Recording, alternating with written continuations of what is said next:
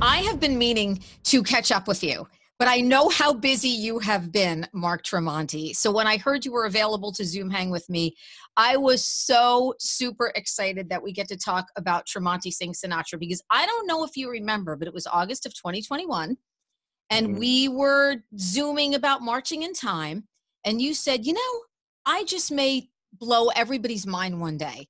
And do a Sinatra covers record. Frank is the inspiration for my singing life. And then, bam, May 27th, we are getting Tremonti Sing Sinatra. So this is incredible. Um, so, where do we start? Uh, uh, 527, we get it. You're partnering with National Down Syndrome Society, and you have a new charity organization called Take a Chance for Charity. So, kind of catch me up here. Yeah. So about three years ago, um, I became obsessed with Frank Sinatra. I mean, I was always a fan, but I became obsessed with singing like him. And then uh, a few years into it, I'm like, what am I going to do with this manager, Tim? I, I, I have no outlet. And then um, me and my wife uh, found out we were having a baby, and uh, we went to an appointment where they had told us that she was going to have Down syndrome. So it was one of those moments where I was like, um, this was for a reason. I was obsessed with doing this for a reason. Frank Sinatra raised over a billion dollars for charity and I want to uh, follow in his footsteps and do a record in his name and and start my own charity. And, and uh, par- so we partnered with well, we partnered with NDSS, so it's their charity organization. But I'm starting an organization called Take a Chance for Charity that will challenge other artists of any sort to anybody with a platform. It could be a radio host like yourself. It could be it could be an athlete, an actor, a band, anybody in a band uh, to do something that their fan base would never see coming to raise money for charity. And of course, everything inspired by Sweet Stella. I see her in the background. Yes, yes, I see her right in the background there. Oh, look at her. Look at her. Those big blue eyes. Oh my gosh. She's adorable. And here's what I love too. I was watching the uh, the video on your website and I love when you start singing. She her whole world opens up. Oh, it's oh, yeah. it's not always when you're talking to her. When you're talking, she responds like any other baby would. When you start singing, I mean, her face, her expression is oh, amazing. Yeah. So you want to talk about meant to be, meant to be. It is so meant to be, and she's so connected in the zone too. Uh, NDSS too, by the way uh, works to advocate for individuals with Down syndrome and their families. They're a phenomenal organization. I've been reading up on them ever since I found out that you were involved with them.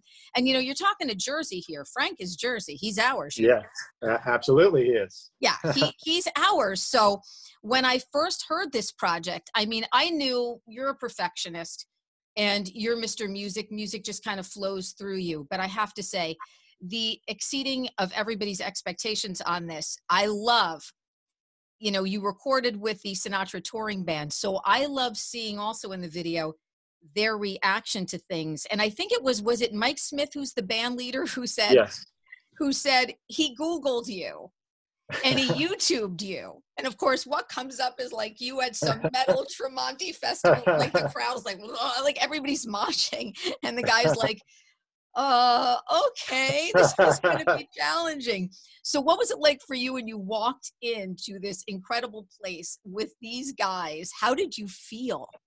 I, it was amazing. You know, it's um, everybody asked, "Are you, were you nervous?" And I said, "Absolutely not." Even my buddy who filmed all the stuff was like, hey, I know you're saying you're not nervous, but just for this, say you were, because it's going to make it more. in, it's going to make it more interesting. Because he, you know, he he films like reality TV and all that stuff. So I was like, okay, I'm nervous. I I I wasn't really nervous because I practiced nonstop for this. I couldn't have practiced another minute to, to know any more than I than I knew when I tracked.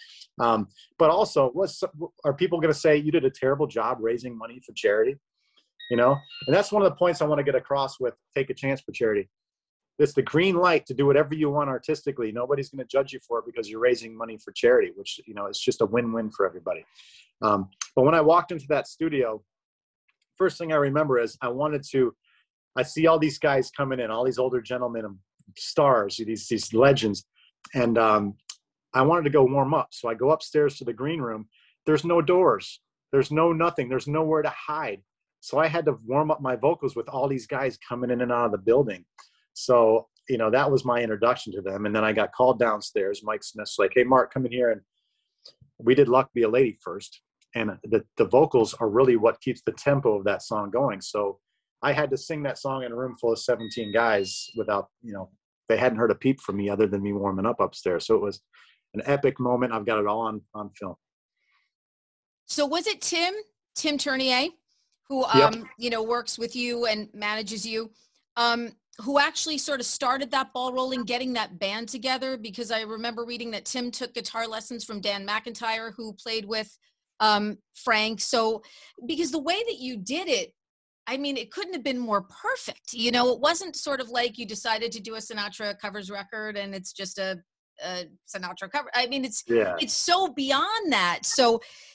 Tim kind of worked his magic and then sort of did one thing lead to another thing lead, to another thing? It was a huge project. It was a huge undertaking, and Tim, I could not have done this without Tim. He, uh, his teacher when he was a kid was was was Dan McIntyre, and so he he he's like, I have the in with him. Um, so then he set up a meeting with Mike Smith, his band leader, and they had lunch, and um, they said, "Can your boys sing?"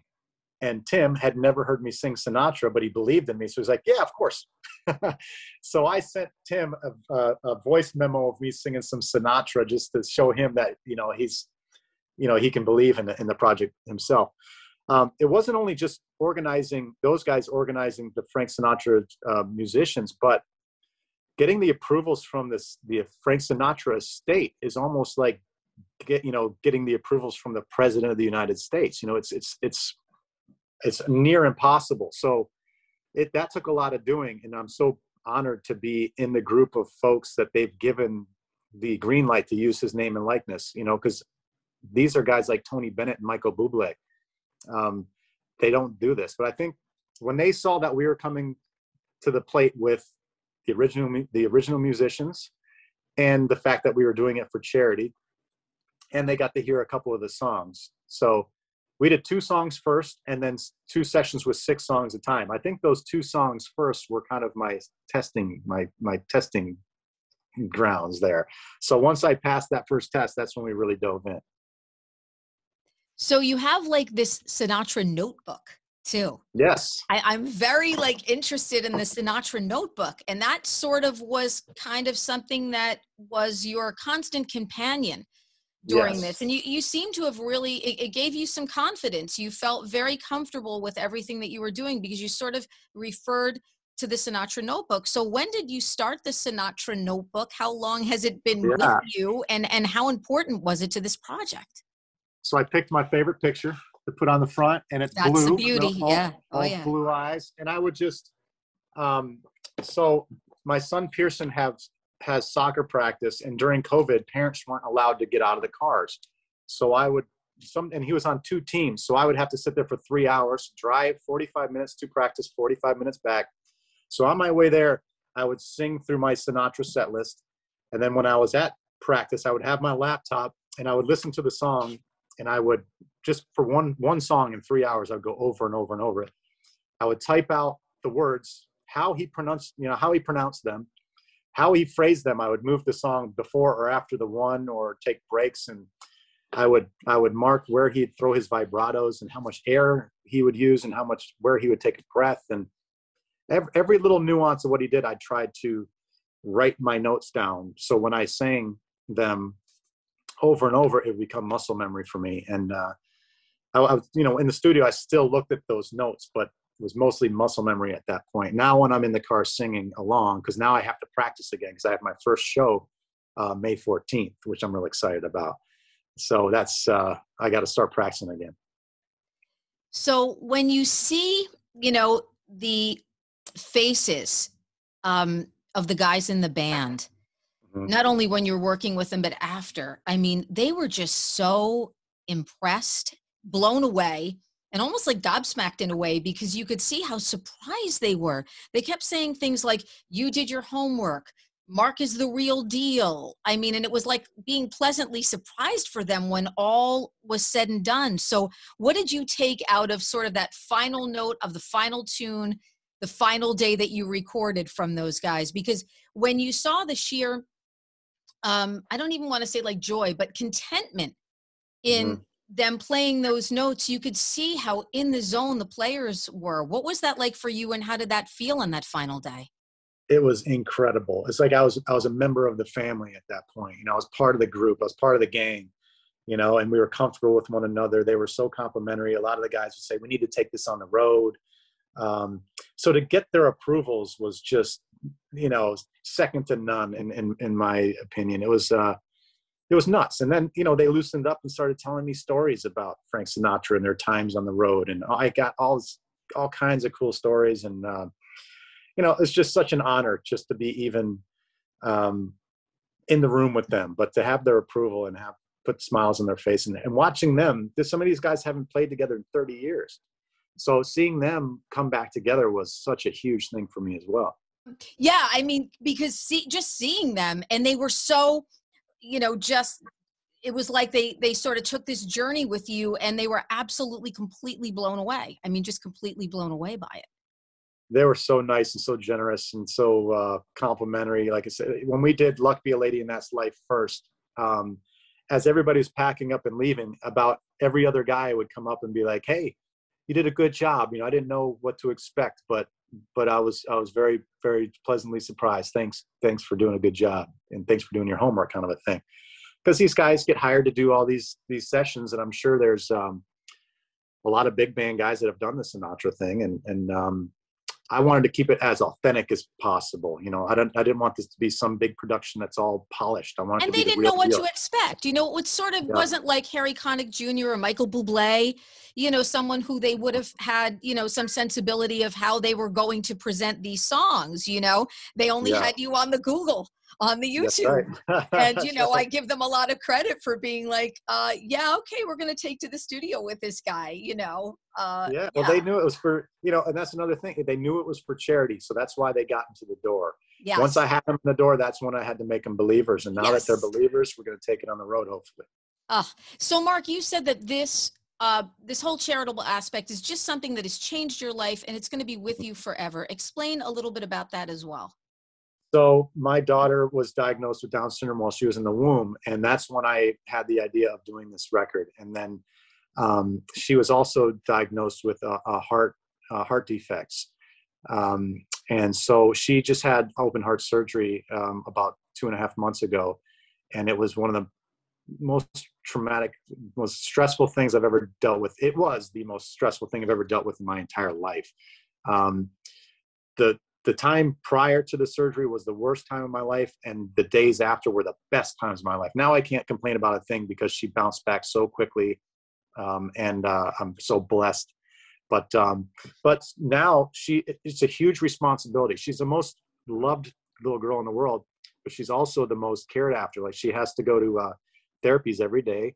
Um, I'll I'll get up and I'll do my interviews, and do my studio work. My my wife will take her to speech therapy, occupational therapy, physical therapy. She does these um, talk tool sessions, and um, with with children with Down syndrome, they hit their milestones um, mostly later than than um, other kids do. So you want to see them thrive, you have to stay on top of it. And I just were, you know, I wanted to start this organization to raise money for NDSS because imagine a family who doesn't have the funds or the time to do this. It would just break my heart to see these kids. Um, and it's vital in the first three years to really get stay on top of it. And if, if you miss that window, um, you never know um, what the outcome will be. So I wanted to make sure that families that are in the same boat that we are are taken care of as much as we can help out. and she just had a, a first birthday correct He just turned one on March Turn 9th. one. Amazing. Amazing. Yeah. And when I read she needed a heart surgery at what was it, 10 or 11 months old, Yeah. um, oh, my heart went out to you because the stress of that um, it is was- just insane. it was the worst moment of my life. Leading is- up to that, waiting for the day where she Yeah. actually has to go to surgery is just absolutely unimaginable. it was excruciating. It was terrible because you look at this pure little angel of a baby, and then you have She to hand her off to to these surgeons that are it, these surgeons are angels walking the earth, the ones that that worked on her. Um, but before the surgery, you're handing her off to pretty much strangers, and and they had to bypass her heart, you know, and uh, it was uh, it was definitely. Uh, I had to find some strength to get through that. But now that I'm through it, I want to talk to other families that have have to do with the same thing, and tell them that you can get through it. It's not, uh, you know, it's a very common thing with with children with Down syndrome, and they can get through that surgery um, quickly, and and she she did, and uh, I remember we we went to these breakfasts where they have all these families that meet. Any family who has a child under two will will have a breakfast together, meet one another, so we can have support groups. And I saw this mother who was pregnant, and she looked like she was just as scared as a person could be. And everybody was trying to talk to her. You know, I, cho- I told her, I'm like, look at my little baby over there. She had open heart surgery like five weeks ago, and she's sitting up and smiling. You know, this these you can get through all these things. And um, it's almost like she didn't want to hear it. You know, everybody was telling her how easy and how great and how much of a blessing it is, but until you experience it, you don't realize how great it can be. And uh, you know, I want to I would like to talk to more people that are in the same situation about that. Yeah, yeah. The mission, I mean, the mission is real, and my gosh, it is so vital. And we get a great piece of music. We get yeah, an it was, amazing, amazing piece of music. uh, it was a dream come true for me. Ugh, Absolutely. it's so incredible when everything aligns itself. Um, you know, there's just a feeling of of happiness and hope, you know, that sort of comes out of you that I think we all kind of need these days. And I think that this is one of those incredible projects, and certainly one that's going to be with you for a long, long time. And uh, uh, inspired by sweet little Miss Stella. She is just the cutest. and when I see you and her together, oh God, I was telling you, I said, I, I was texting a friend of mine and I said, you've got to watch if you haven't seen this video of Mark Tremonti and his little girl because it's one of those I'm not crying, you're crying moments because the Oh, yeah. connection between the t- the connection between fathers and daughters is just amazing. But the connection between the two of you is, um, uh, you know, again, I don't want to start crying, so um, it's That's just the toughest. The toughest thing for me in this project is to not get emotional. I try to Yes! stay You're stay trying to hold it all together. You know, I'm, I'm doing my prep for this and I'm like, all right, how am I going to really talk about this with Mark without getting totally emotional when I see that connection between him and his daughter? Because the two of you together, it's magic. You know, when she looks at you, the whole world opens up when she looks in your eyes. So that's what it's all about, my friend. Absolutely, it's all about. Absolutely, she's definitely made me a stronger man. Yeah. May 27th. Uh, wow. Uh, Tremonti sings Sinatra. I'm trying to figure out because, you know, we put these on, on our website and Mhm. uh, we air the interviews, of course. And I'm trying to figure out which tune to play. You know, like what is your favorite? Because we've got 14 Sinatra classics. Like, was there one that was just the best for you? Um, Jeez, a favorite? I mean, I know it's so hard. it's very hard. You know, um, you know, I want to play, you know, something that people are familiar with, maybe, but the people that buy the record dig deeper. So I think for familiarity, my way, I think that's a, you know, we did it very different from the original version, but it's, you know, it's familiar territory for a Sinatra fan. I think my favorite vocal performance might be uh, "I Fall in Love Too Easily." I knew you were going to say that. I knew you Yeah, were going to say that. That was a fun one. I almost didn't sing that song because uh, I thought all the rock fans would be like, "That's sappy love song," you know. But I just loved it, so I so I recorded it. I'm glad we did because it's uh, could be my favorite vocal take. "Wave" is another one I really love. everyone has like m- m- such mucho respect for everything that you've done on this record so no one's no Oh, one's thank looking at it as love songs or sappy anything I mean, it's just incredible and what you did look mark tremonti greatest living guitar player around right now um, everything you do is perfection. So uh, there's no real surprise you know uh, i was surprised for like five seconds and i was like well it's a mark tremonti project? What do you think it's going to be? Well, thank you so much. It's uh, I can't wait to come on tour there near you, so hopefully you can see it live. Yeah, I cannot wait. Mark, I love you. All the best to the family. Give Stella a big, big kiss for us and uh, stay well, stay healthy. And I cannot wait to see you. And we can't wait for the record two days before Yeah. my birthday. It's going to be like a birthday present. Oh for me. I'm yes, well much Yay! much love. Thank you so much for having me, and uh, I'll see you soon. DHA's Reconnect with Rockers is powered by Karis Lock Company, your full service locksmith, and Dover Dodge Chrysler Jeep Ram on Route 46 in Rockaway.